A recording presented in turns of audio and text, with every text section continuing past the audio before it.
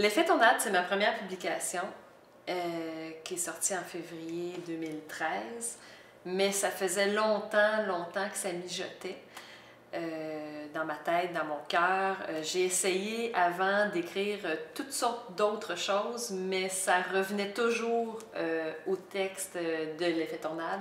Et puis, finalement, voilà, c'est sorti. Et j'en suis très contente. En fait, la façon dont c'est construit, ça relate, on suit un personnage qui est écrit au jeu. Ça a une certaine tendance autobiographique. Et puis, c'est euh, écrit sous forme de, comme des tranches de vie.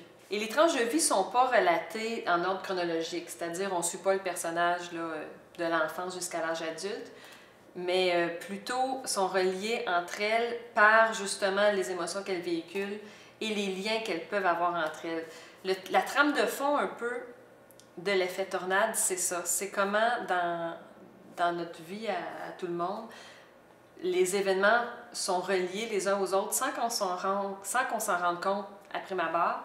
Des fois, plus tard, on comprend le pourquoi euh, d'événements qu'on a vécu ou des choses qu'on a vécues auparavant. Ça, c'est un peu l'idée de l'effet tornade.